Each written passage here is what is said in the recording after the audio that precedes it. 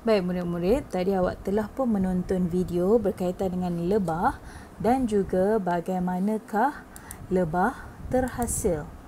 Okey, jadi awak telah pun dapat uh, mengetahui beberapa perkataan dan frasa uh, berkaitan dengan uh, lebah dan juga madu lebah.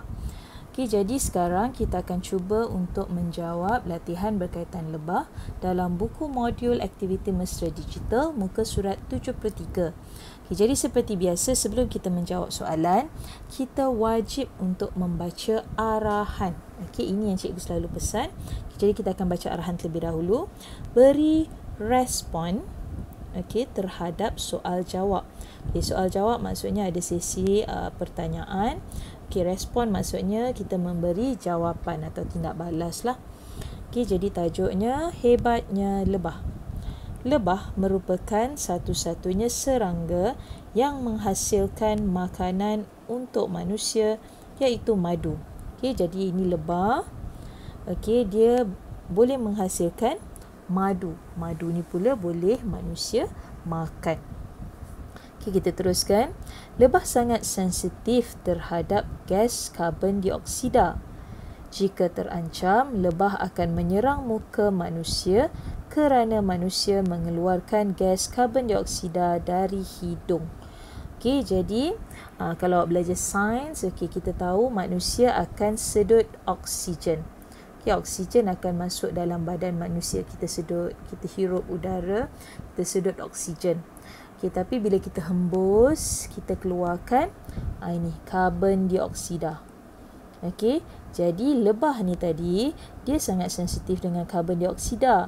Jadi bila karbon dia uh, dapat uh, hidu ataupun dia dapat uh, hidu kehadiran uh, karbon dioksida, okey dia rasa terancam. Okey, bila rasa terancam, uh, itu yang dia akan sengat manusia. Okay, jadi sebab tu uh, lebah dengan manusia ni dia tak boleh berkawan sebab dia uh, lebah sangat sensitif dengan karbon dioksida sedangkan manusia memang sentiasa mengeluarkan karbon dioksida. Okay, baik. Jadi kita teruskan uh, dengan sesi soal jawab di bawah. Okay, antara Dania dan juga Dewi. Okay, uh, Dania tanya ya. Tahukah kamu haiwan yang membuat makanan untuk manusia? Saya tidak tahu Dania, haiwan apa? Haiwan itu ialah lebah Dewi. Lebah menghasilkan madu yang menjadi makanan manusia. Oh, begitu. Saya selalu mendengar berita manusia diserang oleh lebah. Benarkah lebah berbahaya? Okey, jadi Dewi tanya, benarkah lebah berbahaya? Okey, jadi Dania jawab, benar Dewi, lebah, uh, lebah apa? Jadi kita tengok balik dalam uh, petikan ataupun uh, ringkasan yang diberi. Okey, uh, kenapa lebah berbahaya? Okey, sebab inilah lebah sangat sensitif terhadap gas karbon dioksida. Jika terancam, lebah akan menyerang muka manusia kerana manusia mengeluarkan gas karbon dioksida dari hidung. Ha, jadi awak boleh ambil semua maklumat yang ada di situ untuk masukkan di sini. Okey.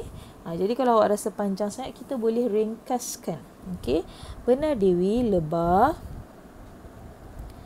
sangat sensitif terhadap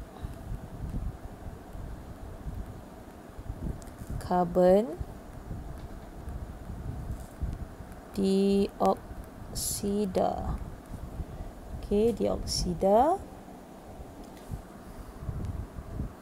yang keluar ataupun kita tak payah.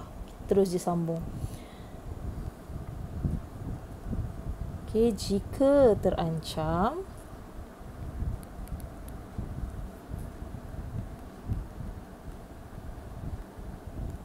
jika terancam lebah akan menyerang muka manusia. Kita ambil balik daripada yang dia bagi tu. Kerana manusia mengeluarkan gas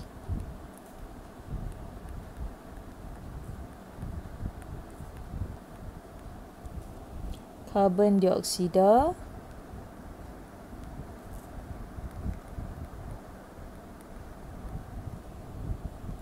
dari hidung.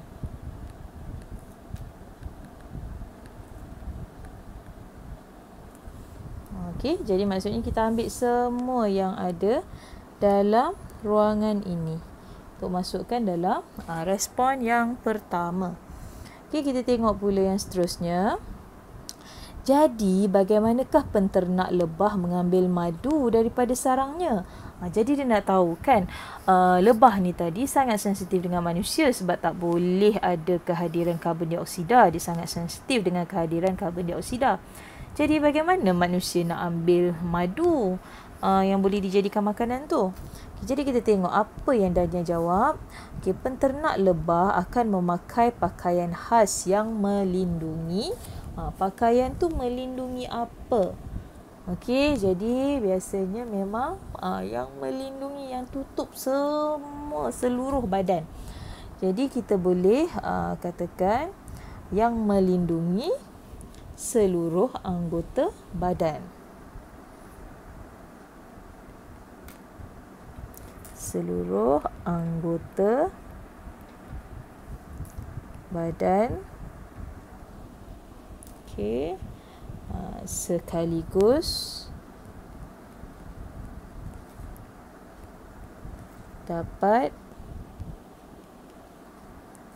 mengelakkan kecederaan kecederaan akibat sengatan lebah. Okey. Ha, jadi selesai untuk latihan yang pertama.